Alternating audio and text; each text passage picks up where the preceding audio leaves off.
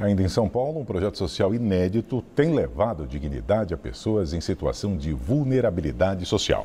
Em cerca de dois anos, o espaço que fica na região da Cracolândia mudou a realidade de uma parcela da população que não tem acesso à água.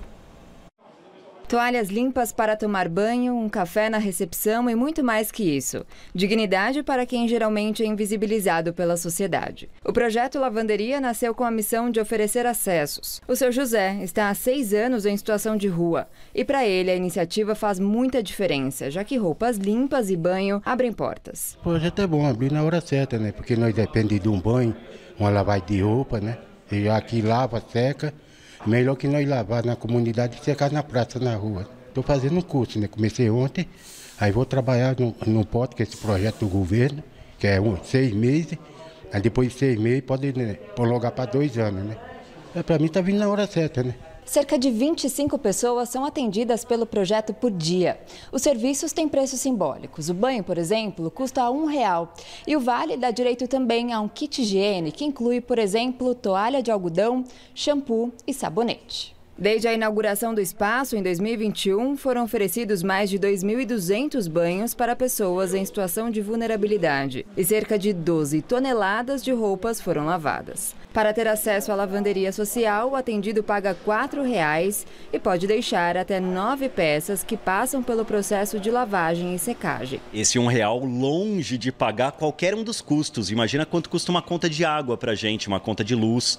É um espaço alugado, com todo esse kit de higiene completo que a gente oferece. Eles custam 21 reais. E a gente corre atrás desse restante para subsídio. Os recursos, eles vêm, é, alguns das gavetas. Gavetas significam esses pagamentos desse um real do serviço, do nosso bazar a preços simbólicos, mas vem muito de contratos. O projeto Lavanderia, ele oferece serviço de lavanderia para terceiros, para empresas. Lógico, existe um apoio mensal de pessoas físicas, um apoio pontual, tem o famoso Pix que a pessoa pode apoiar com um um banho, com tantas peças de roupas a serem lavadas, para quem está em situação de rua, para apoiar o nosso café da manhã. Esses caminhos são importantes para a nossa jornada para a gente ser sustentável e perene. O Lucas Caldeira é o presidente do Instituto Ninho Social, que funciona como um guarda-chuva de outras ações que apoiam indivíduos em situação de rua ou vulnerabilidade.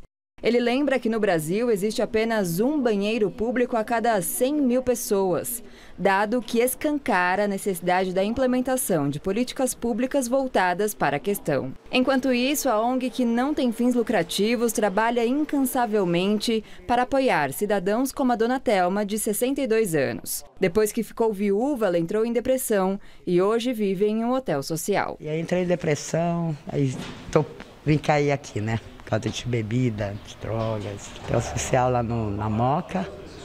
E aí eu venho aqui fazer o curso aqui na Dino Bueno, aí eu aproveitei que eu soube daqui e vi curiosidade, né? E gostei. Tem que dar graças a Deus que temos anjos, né, para cuidar da gente.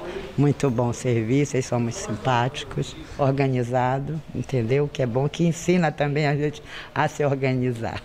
Por enquanto, o espaço funciona às terças e quintas-feiras. Precisava de ter vários e, além de vários, é, poder ser atendido durante a semana inteira. Esse é o sonho do Lucas, que busca apoio para expandir o projeto Lavanderia. Eu imagino que você, quando venha, veio até a sede, tenha tomado banho, tenha escolhido uma roupa bacana para me entrevistar e eu também.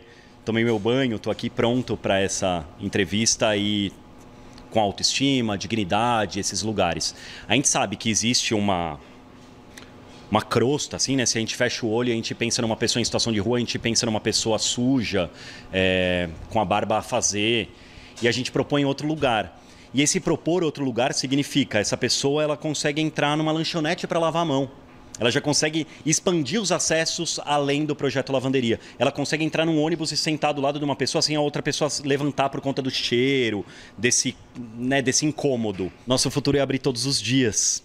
A gente, infelizmente, não consegue abrir por falta de recursos financeiros.